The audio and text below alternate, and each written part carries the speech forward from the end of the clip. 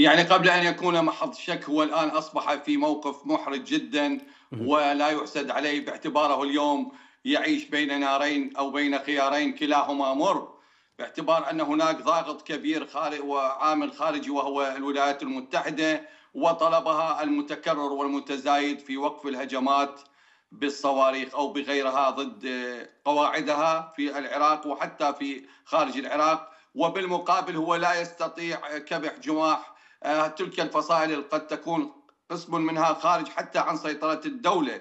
وبالتالي هو يعيش هذه الحالة الترنحية كما تسمى بين أن يقدر أو لا يقدر بين أن يستمر أو لا يستمر. لذلك اليوم الضغوطات على السيد يعني السوداني حقيقة كبيرة جدا لكنه يناور ويحاول ويحاول أن يمسك العصا من الوسط لكن الموقف محرج والأمور ربما تنفلت بين ليلة وضحاها. إذا ما استمر الجانب الأمريكي باستهداف